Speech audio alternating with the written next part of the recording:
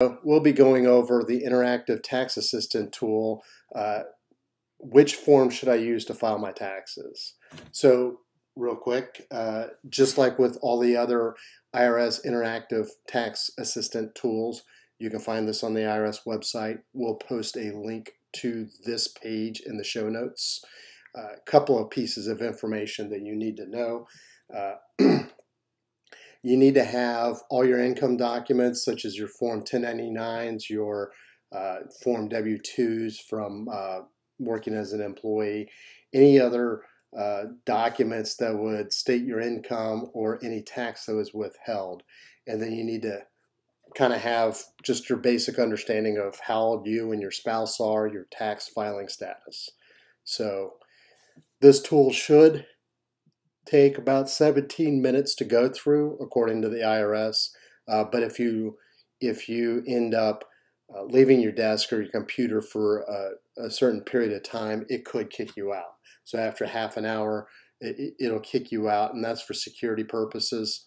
Uh, as you might know, the uh, Interactive Tax Assistant does not keep your personal information. The IRS uh, does not do that. Uh, so it'll kick you out if you've been inactive, uh, but you should still follow proper internet protocols. Clear your cookies regularly, uh, close down the specific browser that you use uh, uh, for this tool whenever you're finished with it. So with that said, let's begin. All right, so now it's going to ask us which form should I use to file my taxes. Now this is for the 2020 through 2022 tax return. Uh, as we're recording this, uh, we're not quite in the 2023 tax filing season, so just uh, make sure that uh, you've determined that you need to file a tax return. There's another uh, ITA tool that will help you determine if you even need to file a tax return. So we've done a video on that. We'll post that link in the show notes as well.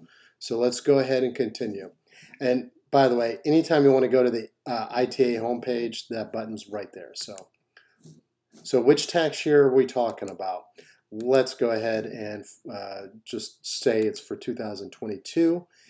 It's going to ask us uh, whether you or your spouse were age 65 or older before the end of the tax year. So uh, technically January 1st still counts as the pr prior tax year.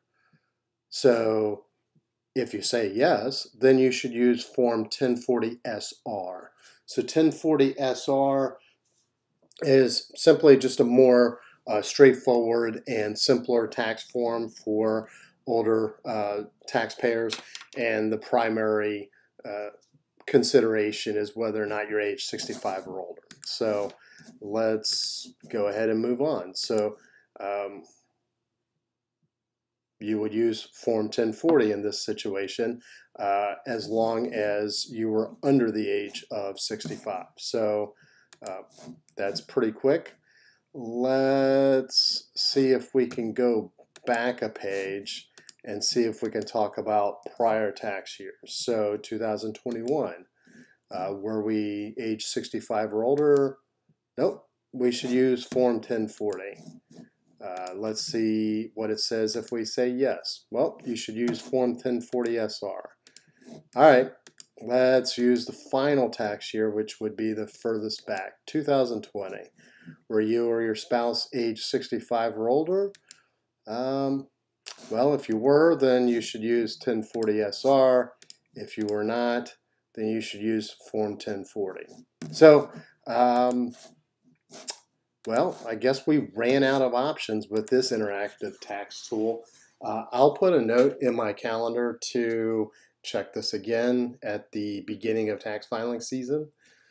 Uh, so that we can uh, see whether or not they make this change. But as of right now, seeing that we just finished the tax return extension season, if for some reason you hadn't filed, if you have an extra extension, then this form or this interactive tax assistant tool really isn't that helpful for us at this point in time. So I'll still put this out on the YouTube and then I'm going to compare it I'm going to put a note in my records to uh, check back on this uh, when we enter into tax season to see if anything's changed functionally. So uh, I'll wrap this up by saying that there are really three most common types of tax uh, forms. Form 1040, 1040 SR, and 1040 NR for non-residents. So um, that's all we have for this interactive tax assistant tool. So um, I'll put a link into the video that we did about whether or not you even need to file taxes.